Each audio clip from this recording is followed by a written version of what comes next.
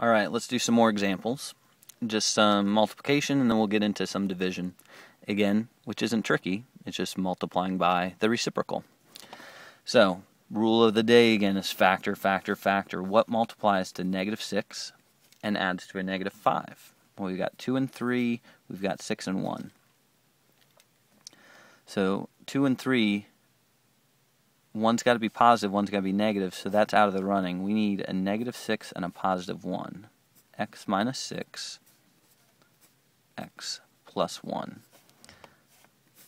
The bottom is already multiplied.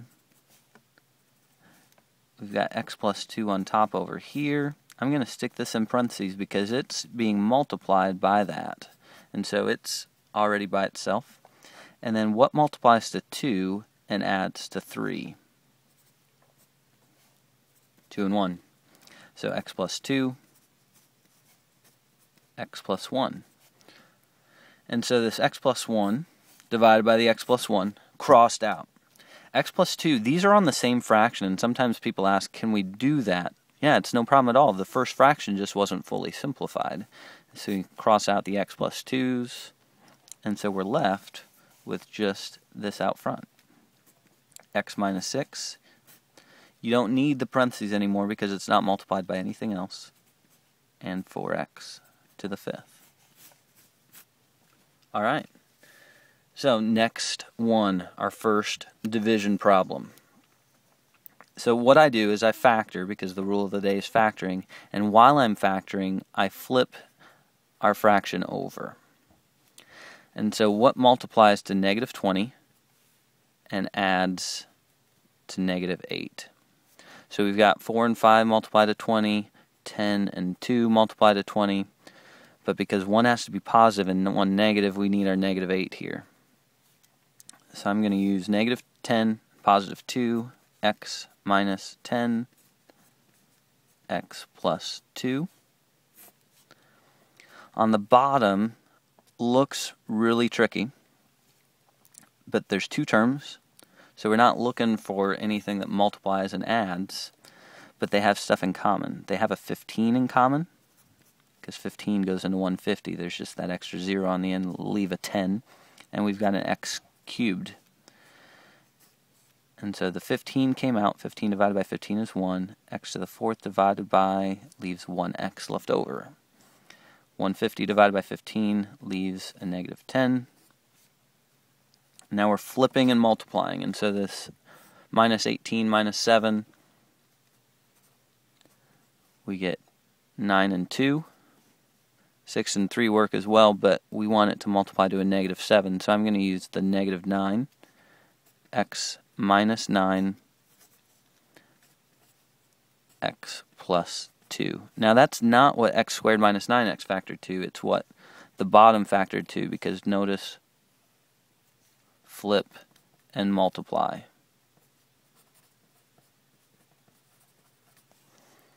So,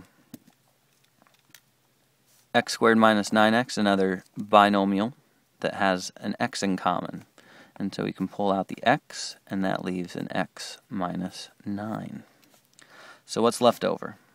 Well, x minus 10's cross out, x minus 9's cross out, now, sometimes we get all really excited, x plus 2's match up, but they're not top and bottom. These cross out because something divided by itself is 1.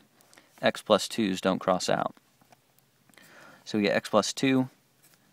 You can write x plus 2, x plus 2, or I'm going to write x plus 2 squared to save some time. Because there's two of them. We get 15x, and then don't forget about this x over here. x to the third and another x, make x to the fourth. All right, factor, factor, factor. Flip and multiply when you're dividing. So sometimes what trips us up is if we don't have a full fraction, and really it's as easy as just stick a 1 under there so that you can see what matches up with what. Because this x plus 1 is really on the top in terms of where it goes. So x plus 1. I'm going to do the same thing again where I flip this. What multiplies to 12 and adds to 13? 6 and 2, 3 and 4, 12 and 1. x plus 12, x plus 1.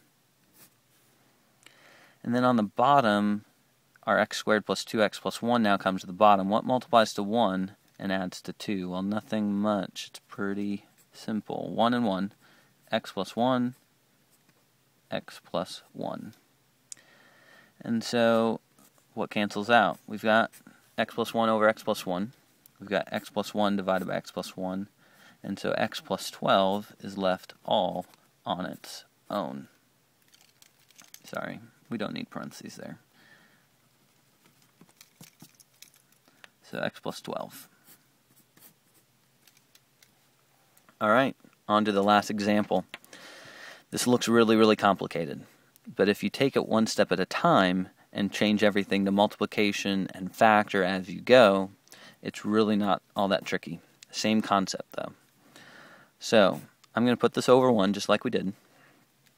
I'm going to factor that. It's got an x in both parts, and so we get an x times x plus 15. If you want to keep that 1 under there. Now this is going to change into multiplication. We're dividing by this whole thing. And so this whole thing, there's multiple ways you can do it. You can simplify the inside and then flip it, or I like to flip it as we're doing it. So I'm going to keep this here. It doesn't matter all that much because it's going to be multiplication. But so this x minus 2 is now on top. And now what multiplies to negative 8 and adds to positive 2? We've got 4 and 2. We need it to be a positive 2, so 4 minus 2. x plus 4, x minus 2 and this x plus 4 also flipped because we're dividing. And then we've got another x squared plus 15x, and so that's actually going to cross out with that whole other one. But they both have an x in them, x plus 15. All right. So these brackets just mean usually that we multiply this all together first and then multiply by this one. But because order doesn't matter in multiplication, order of operations doesn't apply anymore. Um, because it's all multiplication. We have changed everything here. So our x plus 4s cross out.